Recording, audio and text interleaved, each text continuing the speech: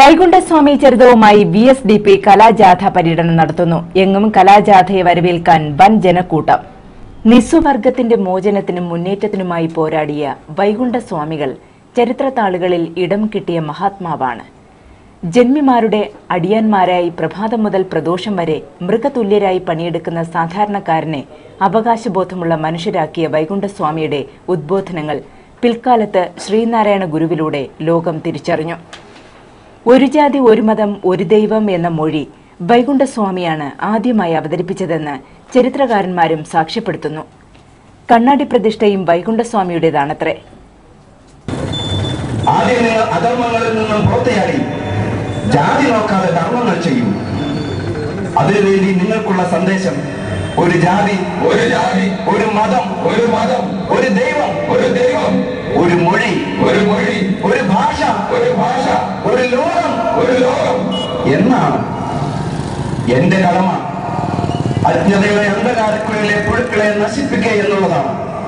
വചനങ്ങളും ചലനങ്ങളും ഓരോ പ്രതീകങ്ങളാണ്.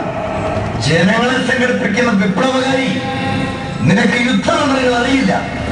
രാജഭരണത്തിന്റെ ദുസൂചനകൾ അറിയില്ല അവയെല്ലാം തുടങ്ങുന്നതിന്റെ വിളംബരം അടുത്ത നിമിഷം തന്നെ രാജസന്നിധിയിൽ മുഴങ്ങിയിരിക്കും.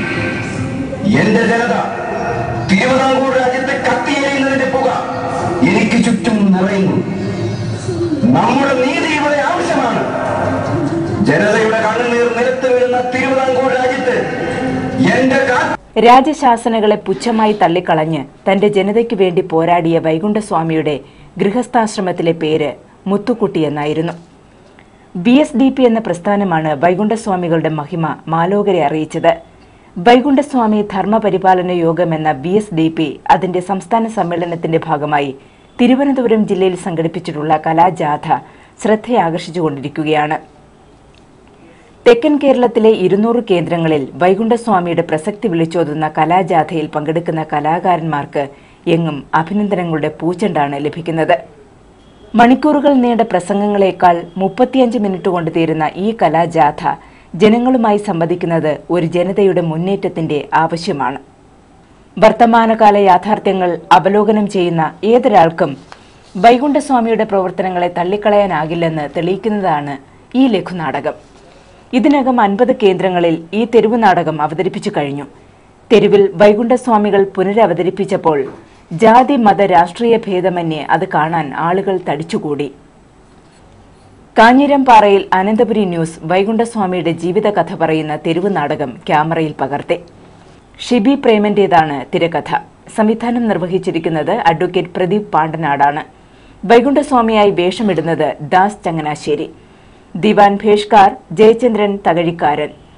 മഹാരാജാവ് ഷിബു മുരുക്കുംതറ ശിങ്കിടി ഹർഷബാൽ ചെങ്ങനൂർ അടിമകൾ രാധാകൃഷ്ണൻ സുഭാഷ് ചെങ്ങനൂർ രംഗപടം ദേവദാസ് മാവേലിക്കര. ഒന്നാം തീയതി വൈകുന്നേരം ഞായറാഴ്ച ദിവസമാണ് വൈകുന്നേരം നാലു മണിക്ക് തിരുവനന്തപുരം പുത്തരിക്കണ്ടം മൈതാനിയിൽ കേരളത്തിലെ നാടാർ കുടുംബ സംഗമം നടക്കുന്നതിന്റെ മുന്നോടിയായിട്ട് സെപ്റ്റംബർ മാസം എട്ടാം തീയതി Thiruvananthapuram K S T A ഹാളിൽ വെച്ച് കേരളത്തിന്റെ ബഹുമാന്യനായ ആരോഗ്യ വകുപ്പ് മന്ത്രി വി എസ് ശിവകുമാർ അവറുകൾ ഉദ്ഘാടന കർമ്മം നിർവഹിച്ച വാഹന കലാജാഥയാണ് ഇവിടെ ഇപ്പം എത്തിച്ചേർന്നിരിക്കുന്നത്. ഈ വാഹന കലാജാഥയിലുടനീളം ഞങ്ങൾ പറഞ്ഞുകൊണ്ടിരിക്കുന്നത് വിവിധ മതവിഭാഗങ്ങളിലായി അസംഘടിതരായി നിൽക്കുന്ന കേരളത്തിലെ നാടാർ സമുദായം. ഞങ്ങളിലില്ല ഹൈന്ദവ രക്തം ഞങ്ങളിലില്ല ക്രൈസ്തവ രക്തം ഞങ്ങളിലുള്ളത് നാടാർ രക്തം എന്ന മുദ്രാവാക്യം വാനിൽ ഉയർത്തിക്കൊണ്ടാണ് വൈകുണ്ഠസ്വാമി ധർമ്മപ്രചരണ സഭ എന്ന പ്രസ്ഥാനം കേരളത്തിൽ അങ്ങോളം ഇങ്ങോളം പ്രവർത്തിക്കുന്നത്. കേരളത്തിലെ നാൽപ്പത് ലക്ഷത്തിന് പുറത്തു വരുന്ന നാടാർ കുടുംബ സംഗമം തിരുവനന്തപുരം പുത്തരിക്കണ്ടം മൈതാനിയിൽ പുത്തരിക്കണ്ട മൈതാനിയിൽ യേശുദാസൻ തിരുമേനി നഗറിൽ നടക്കുന്ന സമ്മേളനത്തിൽ കേരളത്തിലെയും ദേശീയതലത്തിലെയും രാഷ്ട്രീയ പ്രമുഖരും സാമുദായിക നേതാക്കന്മാരും പങ്കെടുക്കുന്ന ഒരു സമ്മേളനമാണ്.